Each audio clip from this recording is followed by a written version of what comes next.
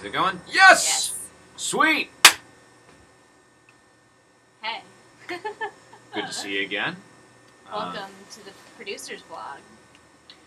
Uh, what do we uh, what do we have today? New episode. Did you guys watch it? Mm, I'm Yeah? sure you did. Good. It'd be really weird if you just watched the vlog, sort of like you do quantum television viewing, where you just you judge what the show is like based on based on what it affects instead of the show itself. But no, we had a lot of fun last night.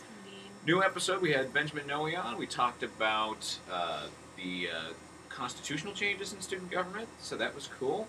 Uh, and then we had Lizzie Helpling on. We talked a little bit about some of the things that class councils are doing, and then I challenged Ben to a Jeopardy game. Indeed, you did. Yeah, And who was the winner of that again? Ben was There you go. by a dollar. But here's so here's the story on that. And you can go to j-archive.com if you want to find more information about this. We actually used actual questions from the January 31st, 2012 uh, episode of Jeopardy. But Ben and I and the third gentleman on the show, Gabriel Orlet, who made a special appearance, Jabril as I like to call him, are all actual former contestants on the Jeopardy Teen Tournament. This is not like a like a thing we made up. It was just by coincidence. All three of us had that thing, so we just figured, boom. And actually, Ben did not know about it until he showed up to shoot, which was fun. Surprise. Yeah, yeah. Um, so, so that was cool. Uh, we had Ben. Um, we uh, his last name is Noe. Noe. Yes. My my bad. My uh, hooked on phonics apparently did not work for me. Well, it's because we, we are not taught to pronounce the N O E like the E is a long E. Uh, I I made a boo boo of my own uh, as well regarding last names, and uh, you may have noticed it in the closing credits, uh, and I've corrected this for the version of the clo- closing credits that'll that you'll be able to see uh, if you if you watch the show online. Um, the uh, building manager at Washington Hall, the assistant program manager of Washington Hall, but she's, she's essentially our building manager. Her named Kat Van Vliet. She does a lovely job. You know, she's very nice. Like, uh, always glad to see us. She's got all the keys. Like, there's a lot of stuff that would not happen right if it weren't for Kat. So I figured, hey, we should put Kat in the credits. Why not? I several years ago worked with an actress in a production of Joseph and the Amazing Technicolor Dreamcoat, uh, whose name was Kat McFadden.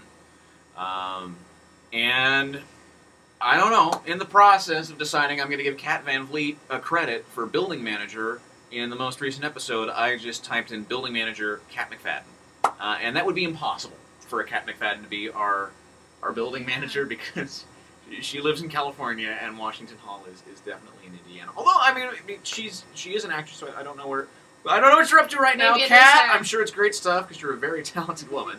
Uh, break legs, no matter what you're doing. But um, there you go. Maybe it was her. Maybe it was. Playing cat. Mm. Cat oh, playing cat. oh, maybe I. mm, I don't think so. Yeah. That's good. She's cat's. She's not that good an actress. Uh, okay. Um, the shirt. the shirt.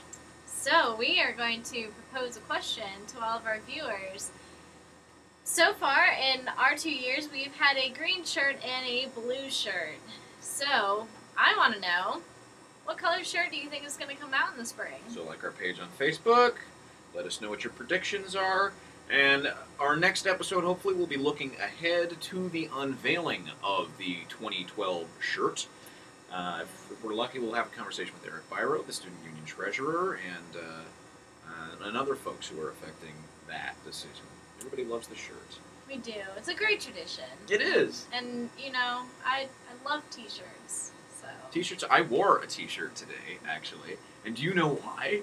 Because ordinarily I wear collars, but mainly I wanted to make the point that NDTV loves you, we do. So you should Very much. watch. This. So this is a little. This is like emotional blackmail because you should watch NDTV because NDTV loves you. Why ban it? But what's especially awesome is that it's unfortunately it's why there won't be a producer's vlog next week. But what's it, what's awesome about it is that it's spring break. So um, rate Yay. responsibly. And As uh, always. what are you doing for spring break, Allie?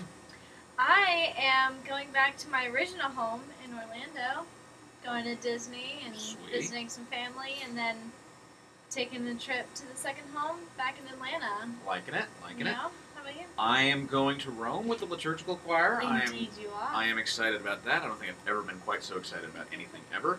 And uh, hopefully, I'm going to introduce the Pope to our show. Good. He, he would Please really do. enjoy it. You'd be an awesome follower. I think he would. Yeah, and then all of Notre Dame should watch because the Pope watches. That would be the greatest endorsement ever. And remember, 10 years at NDTV celebrating a decade of competence. See you in a few more weeks.